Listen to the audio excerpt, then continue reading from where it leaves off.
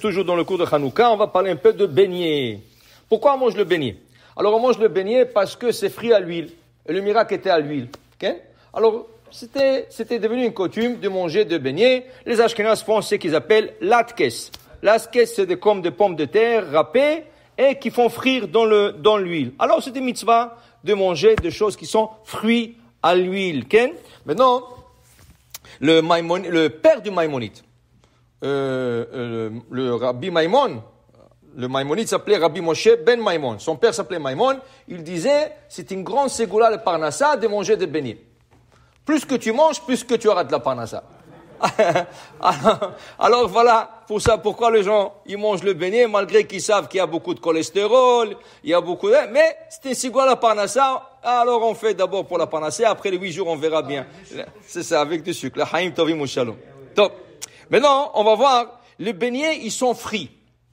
Il y a une halakha spéciale, quand tu fais du pain, quand tu fais du pain, alors c'est moti et à la fin, birkat Amazon.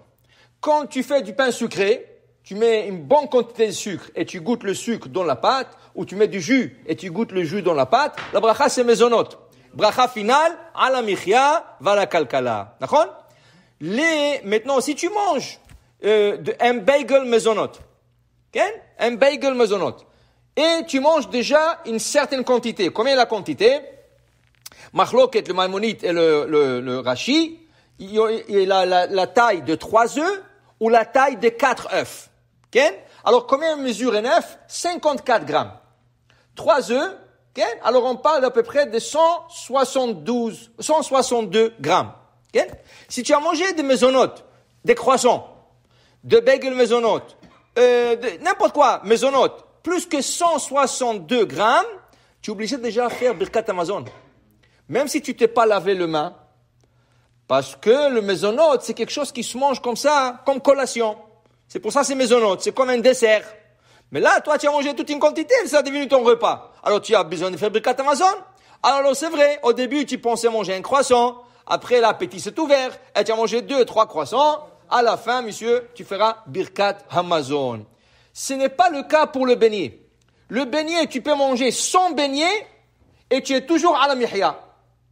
Maisonnote au début, à la mihya à la fin. Pourquoi? Parce que les beignets sont frits. Ils sont pas cuits dans le four. La halakha qui dit que si tu as mangé, tu as dépassé la quantité de pour maisonnote, ça veut dire que tu as mangé déjà une quantité de trois œufs, ça c'est pour le pain, pour le maisonnote, pardon, pour le maisonnote cuit dans le four mais de, de beignets, fruits, Ken, cela, ils ne rentrent pas dans cette catégorie. Il y a une autre exception, les pâtes. Les pâtes, c'est maisonnote. C'est, c'est de la farine et de l'eau. Mais ils sont cuits. Tout ce qui est cuit dans une, une marmite aussi ne rentre pas dans la catégorie de faire la bracha à, à Mirkat Amazon à la fin quand on a dépassé la quantité. Alors, en résumé, tu manges du pain, tu fais à la fin, à la fin, Birkat Amazon. Tu manges maisonnote, tu fais à la fin, à la Kalkala. Tu as dépassé 162 grammes, tu feras à la fin Birkat Amazon, même tu as fait maisonnote. Mais pour le beignet et pour les pâtes, même si tu manges autant que tu veux, qu'il n'y a pas à Birkat Amazon, il n'y a que à la Mechia. Alors, quelqu'un m'a posé une question. Comment ça se fait, comment ça se fait, quand tu fais Birkat Amazon, quand tu fais Birkat Amazon, Ken, si c'est Hanouka, qu'est-ce que tu dis dans la deuxième bracha?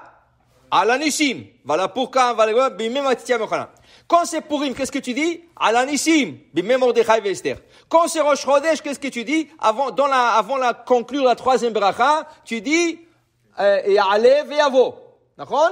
Et si c'est Sukkot, si c'est Shavuot, il y a et Avo. D'accord? Comment ça se fait que, et ça c'est Birkat Amazon. À la Michia, à la Michia, tu as mangé des gâteaux. Tu as mangé 50 grammes, 100 grammes. Tu n'as pas dépassé la quantité. Quand tu sais Rosh Chodesh, quand tu dis Ala Michia Vala Kalkala, tu dis au mieux Vezochenu le Tova Beom Azé. Si c'est Sukkot, Ken, eh, tu parles là-bas Beom Haga Sukkot Azé.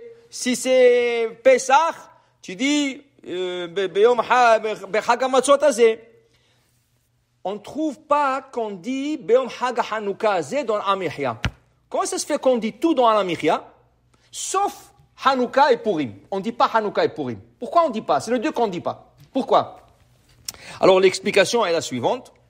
L'explication est, Alamichia est l'abrégé du Birkat Amazon. On appelle cette bracha Me'en Shalosh. Me'en Shalosh. Qu'est-ce que c'est Me'en Shalosh? Le résumé du 3. 3 quoi? Au début, dans le temps de, de Chachamim, de, de, Tanaïm et d'Amoraïm, Birkat Amazon avait que trois bénédictions. Baruch ata Hashem azan et akol. Baruch ata Hashem ala aretz val Amazon. Baruch ata Hashem bonei Yerushalayim. Amen. Et c'était fini la... La quatrième bracha est venue après la destruction de la ville de Bétar, beaucoup plus tard. Donc, dans le Talmud, on a l'habitude d'appeler Birkat Amazon Birkat Shalosh. La bracha des trois, parce qu'il n'y avait que trois. Après, c'est ajouté la quatrième. Alors, on appelle ça. C'est comme la Hamida. Comment on appelle la Hamida? Shmone Esre. Parce qu'il y a 18 bénédictions. Mais, monsieur, il n'y a pas 18, compte. Il y a 19. Parce que la 19e a été ajoutée beaucoup plus tard. Alors, ça a gardé le nom de Birkat, euh, de Shmone Esre. Alors, dans le Alamichia, en vérité, quand tu manges un gâteau, tu manges un bagel, tu manges un croissant, en vérité, c'est de l'eau de la farine. Tu aurais dû faire amoti et, et birkat Amazon. Mais on te dit non, c'est qu'une collation. Donc, qu'est-ce qu'ils ont fait? Ils ont fait la bracha maisonot et la bracha finale, me'en shalosh.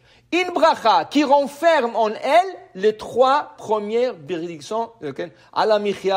Kakra, et après, on dit là-bas, et on dit là-bas, euh, Rachem Hashem alenu val Israël amach val Yerushalayim erach, c'est bonnet Yerushalayim. Il y a le trois. Trois bénédictions sont incluses dans cette bracha. Okay? Maintenant, arrivé à Hanouka Purim, normalement, normalement, on aurait dû instaurer Bechaga Hanouka azé, Bechaga Purim azé. Pourquoi on ne mentionne pas? Parce que Ya'alev Yavo, où ça se dit? Dans la bracha de bonnet Yerushalayim dans la bracha, Rachem alenu va Israël amach, va Yerushalayim irach, et on dit là-bas, Urtse va chalitzenu, biom Shabbat azé, ou on dit, Vezochen lotova, biom Rosh Chodesh azé. Mais où ça se dit, Alanissim? Dans la deuxième bracha, Nodelecha, Nodelecha, puisqu'il n'y a pas le mot Nodé dans Alamichia, il ne pouvait pas inserter Hanouka. Parce que pour inserter Hanouka et Purim, il fallait le mot nodé. Comme, parce que c'est l'extrait du Birkat Amazon. Mais comme il n'y a pas nodé, nous vous remercions Hachem pour ce que nous a donné, il n'y a pas ce mot, donc ils n'ont pas inserté le Al Hanouka et le Purim. Amen ve Amen.